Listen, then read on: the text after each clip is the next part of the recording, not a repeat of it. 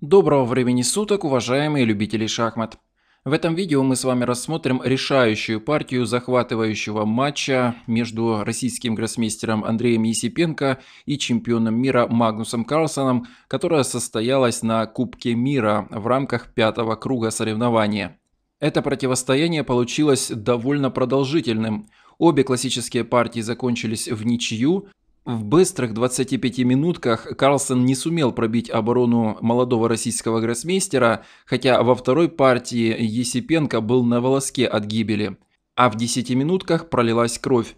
В первой партии Магнус Карлсон после неудачной жертвы качества со стороны российского шахматиста получил большое преимущество и без проблем его реализовал. Перед россиянином стояла задача отыграться, и он справился с ней блестяще – в тихой итальянке избрал неприятный для соперника порядок ходов, Магнус Карлсон напутал и проиграл. В итоге соперники перешли к блиц-партии, и вновь повторилась та же ситуация. В первом поединке Магнус Карлсон добился победы, хотя, опять же, Есипенко имел отличные шансы уравнять положение в позиции с разноцветными слонами. И вот вновь перед российским шахматистом стояла задача отыграться – Контроль времени 5 минут и 3 секунды добавления на каждый сделанный ход. Соперники повторили дебют, который встретился в предыдущей четной партии. По счету это аж восьмой поединок. Такого продолжительного противостояния на этом Кубке мира у Магнуса Карлсона еще не было. Итак, Есипенко сыграл Е4, в ответ Е5, конь F3, конь C6, слон C4, слон C5. После c3 следует конь f6, на d3, d6, 2 нуля, h6, ладья e1, рокировка, h3. В предыдущей четной партии получилась та же позиция. Там Магнус Карлсон сразу отвел слона на b6. После отхода коня поставил пешку на c6, слона на c7, но потом вернул его обратно на b6, напутал и проиграл.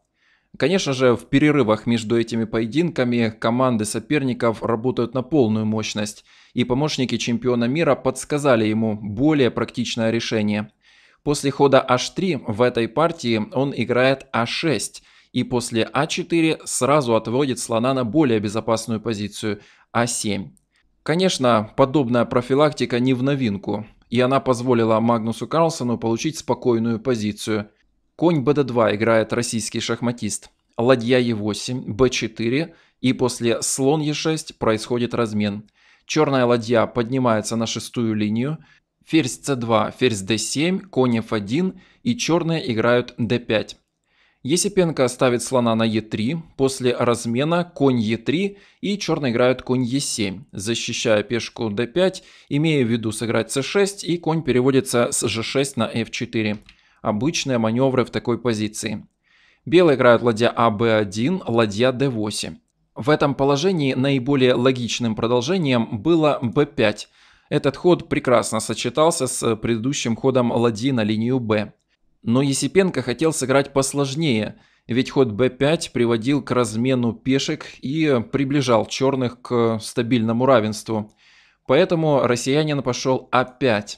Конь g6 играет Магнус Карлсон, не нарушая логичного хода борьбы. И здесь Есипенко ставит пешку на c4 и борется за пункт d5. Конечно, в этой позиции очень хочется побить на e4, упростить ситуацию, но это лишь приведет к вскрытию линии d, что даст белым возможность побороться за нее. Ведь ход ферзь d3 – это ужасная ошибка – После ладья ед1, ферзь c2, промежуточный шаг и конь c2. Черные сдаются, у них нет ладьи. Конечно, такие ошибки на этом уровне не делаются, и Магнус Карлсон после хода c4 очень быстро сыграл c6, давая право российскому шахматисту высказаться. В этом положении Андрей Есипенко делает ход из общих соображений, но при ближайшем рассмотрении он оказывается серьезной стратегической ошибкой. Лучше всего было сыграть конь f5, занимая законное поле. Также неплохо было сыграть g3, отнимая симметричную позицию у черного коня. Но россиянин пошел ладья ед1. С виду ход неплохой, но оказывается, что ладья на d1 будет пассивной фигурой. Все дело в том, что белые не могут сами инициировать вскрытие вертикали d, а черные не будут спешить со взятием на e4. Ладья белых простоит на этой пассивной позиции до тех пор, пока Магнус Карлсон сам не заберет ДЕ. Пока что он играет конь f4, белые ставят коня на f5. Следующим блестящим ходом g6 Магнус Карлсон предлагает очень интересную жертву пешки. Есипенко нужно было отказаться и отойти на e3. Правда, в этом случае черные получали еще один усиливающий позицию ход – король g7. И для того, чтобы ввести в бой ладью, нужно сначала разменяться на d5, а затем сыграть d4, надеясь на ответное взятие – но черные ходили в этом случае Е4, после конь Е5 отходили на С7, и ладья D1 по-прежнему упирается в свою пешку по вертикали D. Положение примерно равное. Не видя возможности естественным путем захватить инициативу, Есипенко решил забрать предложенную чемпионом мира пешку. И вот что из этого получилось. После коня 6 шах следует король g7, нападая на коня.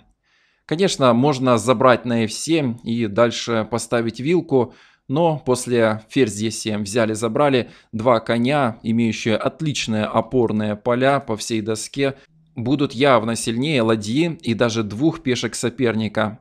Поэтому здесь Есипенко отошел на g4, согласился на размен на этом поле, и Карлсон играет ладья e, e8, не только нападая на пешку g4 ферзем, но имея в виду борьбу за открывшуюся вертикаль h.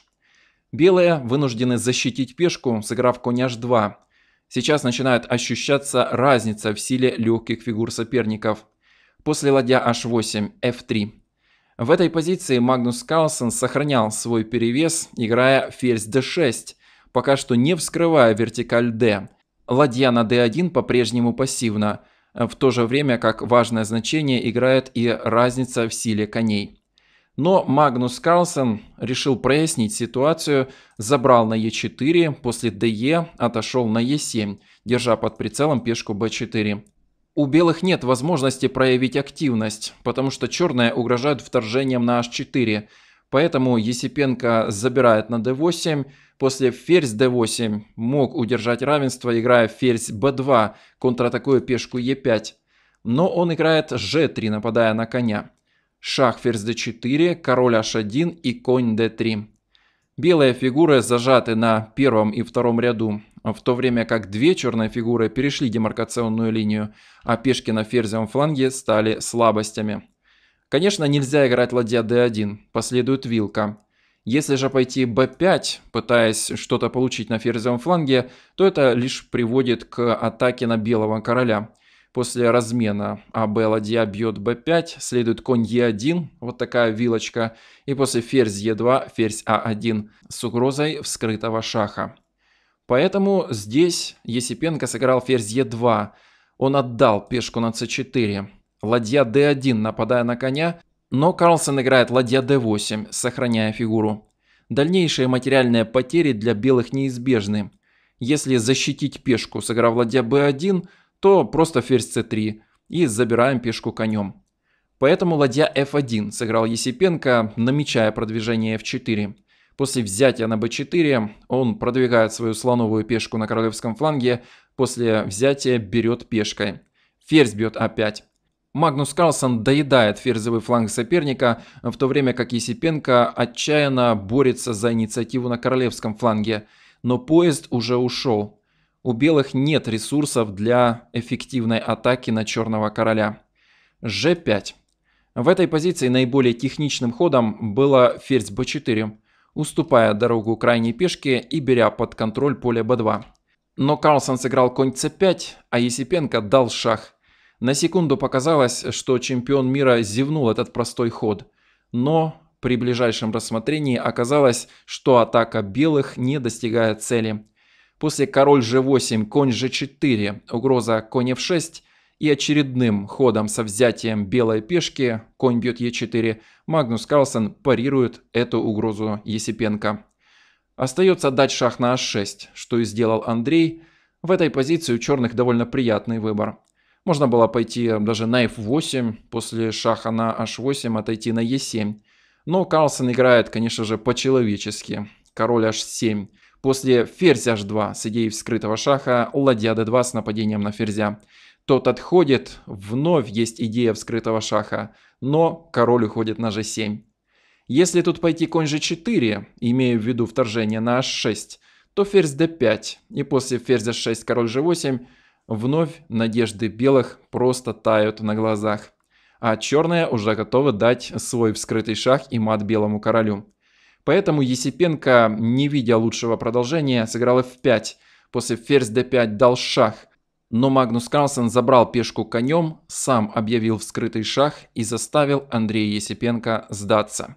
Эта интересная партия поставила точку в противостоянии Андрея Есипенко и Магнуса Карлсона, ведь оба блиц-поединка закончились в пользу чемпиона мира. Но эту точку вполне можно считать запятой в глобальном плане, потому что Андрей Есипенко оказал чемпиону мира очень достойное сопротивление – в молодом российском гроссмейстере чувствуется и талант, и мощный потенциал в купе с довольно крепкой нервной системой, что в будущем, я уверен, даст ему возможность побороться за звание чемпиона мира.